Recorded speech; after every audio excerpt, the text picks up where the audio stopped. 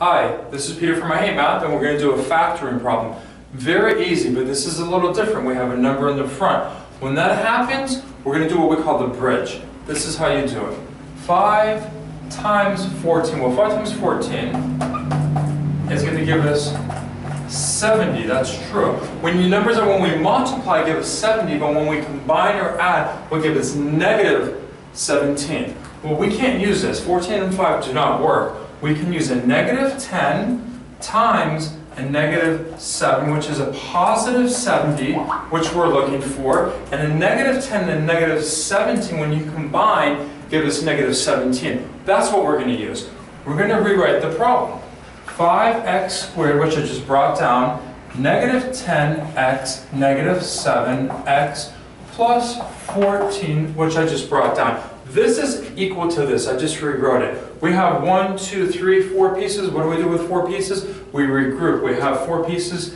We cut it down the middle. This is a polynomial. And we're going to go ahead and do our parentheses. What can we factor out between this, these two? This is a binomial. We can take out a 5 and an x. That's true. 5x times something gives us this. What are we missing? An x. 5x times x is 5x squared. Negative. Negative 5x times a negative something gives us negative 10x. What are we missing? 2. This times this is that. That's true. We already have one piece to the puzzle. Let's bring this over here. That's part of the process. Now we need something on the outside when we multiply. It gives us this and this. Well, what am I missing?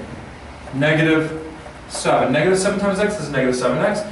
Negative 7 times a uh, negative 2 is actually a positive 14. So negative negative is a positive 14. We have our factors which are these?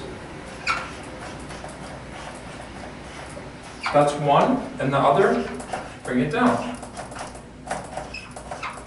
This is your two factors we've done. Have a great day. Thank you.